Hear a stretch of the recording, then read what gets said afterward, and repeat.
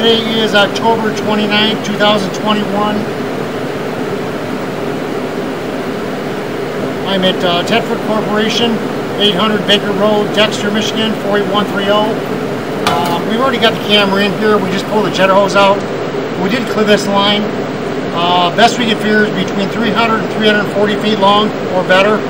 Um, you see a little bit of scale here in the bottom. Uh, they had a full building backup.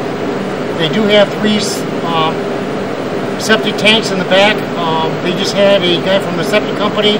He pumped all three tanks out. They're approximately 2,000 gallons apiece.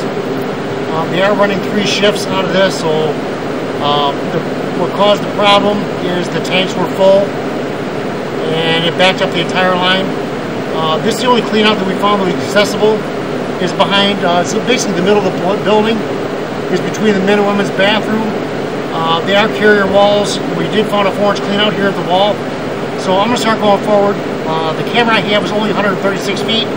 So we're going to go to the end and then pull back to the beginning.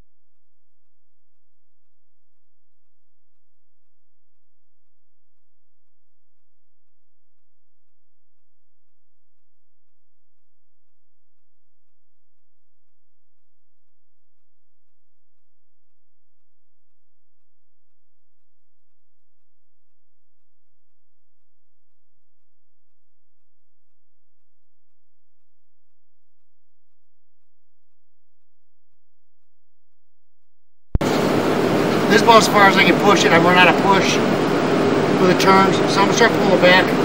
We did a couple fall, a couple wives that are in here, and a bunch of 45s. Uh, the one we had flow, they have what they call wet room.